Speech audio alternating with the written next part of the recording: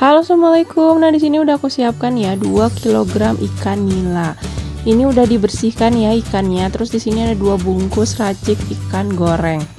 Ini super praktis banget. Tinggal kita lumuri aja ikannya. Nah cara melumurinya ini ditabur sedikit-sedikit aja biar semuanya terlumuri dengan sempurna ya kalau misalnya langsung satu bungkus atau dua bungkus dimasukin biasanya nanti nggak rata melumurinya untuk perbandingan bumbu raciknya untuk satu bungkusnya itu berbanding 1 kg. Nah, ini karena aku pakai 2 kg ikan, jadi aku pakai dua bungkus ya. Nah, ini udah rata, kita diamkan dulu minimal 10 sampai 15 menit. Nah, sambil nunggu bumbunya meresap, di sini akan aku siapkan untuk bumbu halusnya. Nah, ini untuk kunyitnya aku pakai setelunjuk ya. Dan untuk cabai merahnya aku buang bijinya. Kalau kalian mau pedas nggak usah dibuang bijinya terus nanti akan aku tambahkan satu batang serai nanti ikut di blender. Dan untuk aromatiknya di sini ada tiga daun salam sama tiga batang serai. Nah ini kita haluskan dulu tiga siung bawang putih terus empat butir kemiri sangrai. Terus di sini aku tambahkan juga 7 siung bawang merah. Ini aku potong-potong biar mudah untuk ngeblendernya. Dan di sini juga aku masukin satu batang serai yang udah aku iris-iris Nah ini dimasukin aja dan satu kunyit ya setelunjuk kunyit. Nah ini dan kita tambahkan juga satu buah cabai merah.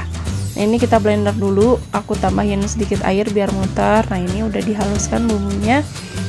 Lanjut kita sisihkan ya. Ini sisihkan dulu.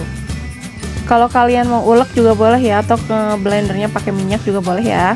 Nah terus di sini kita goreng dulu ikannya tapi ngegoreng ikannya jangan terlalu kering karena nanti kita akan masak pakai bumbu yang lainnya ya jadi biar nggak terlalu overcook. Nah jangan lupa untuk dibalik dan kalau misalnya udah cukup mateng tinggal kita angkat.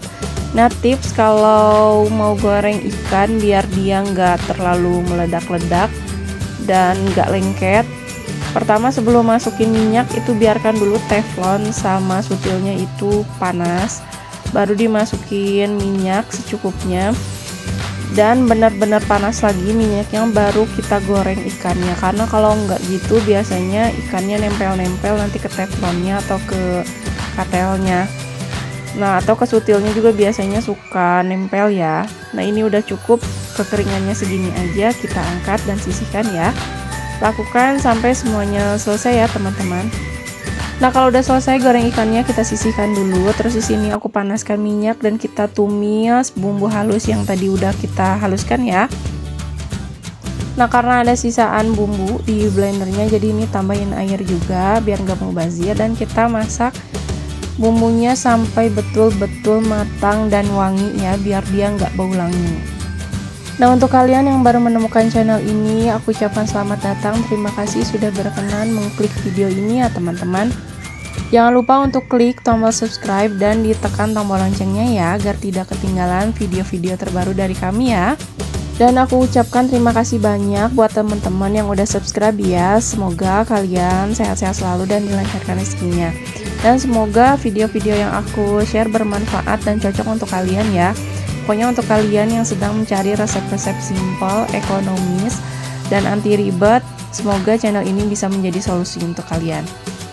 Nah, balik lagi ke bumbunya. Di sini karena bumbunya itu ada kemiri dan kunyit, biasanya bumbu yang ada kemiri dan kunyitnya itu lebih lama matangnya ya. Makanya kalau misalnya pas kalian masak ternyata udah mengering, boleh ditambahin air atau minyak lagi biar dia nggak gosong.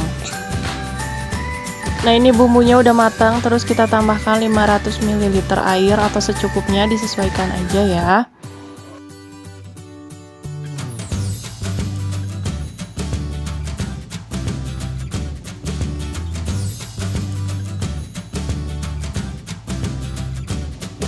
lanjut kita masukin daun salamnya tiga lembar. Ini aku sobek-sobek dulu biar aromanya keluar dan tiga batang serai yang udah digeprek atau agak dipatah-patah biar keluar aromanya. Nah ini tinggal kita aduk aja.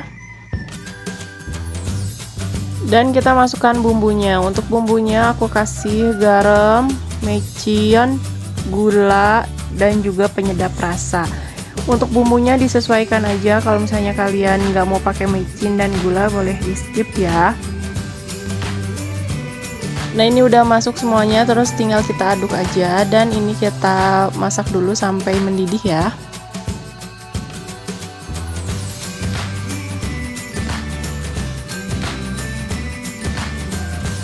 Nah ini airnya udah mendidih, udah wangi banget. Terus kita tambahkan santan instan Nah di sini untuk santan instannya aku pakai sunkara, pakai dua bungkus.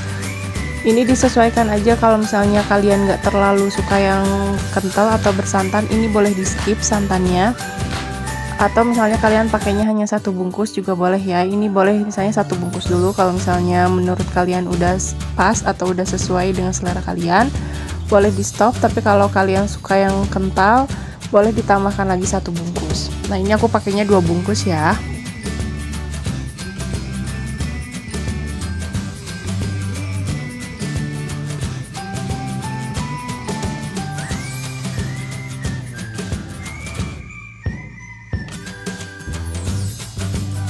Nah ini tinggal kita aduk rata aja.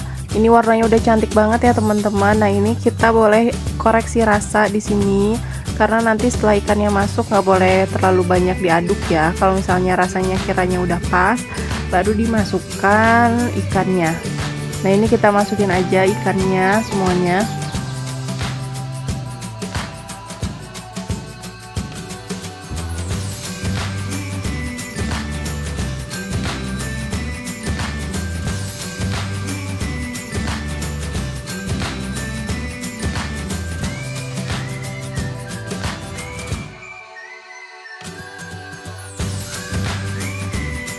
Nah terus ini tinggal kita siram-siram aja sampai semua bumbunya kena ke ikannya ya biar bumbunya meresap. Ini kita masaknya setelah ikannya masuk nggak usah terlalu lama.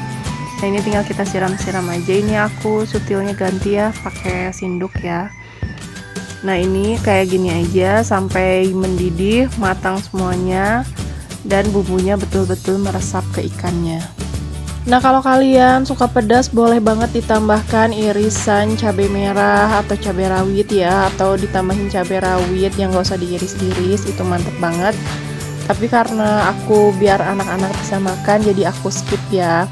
Nah ini kalau rasanya udah pas boleh dimatikan kompornya dan siap disajikan ya teman-teman. Nah ini dia hasilnya. Alhamdulillah Masya Allah Tabarakallah Saya mau ikan nila kita siap dihidangkan ini rasanya benar-benar enak, bumbunya sangat meresap, terus daging ikannya juga lembut banget, recommended untuk kalian coba.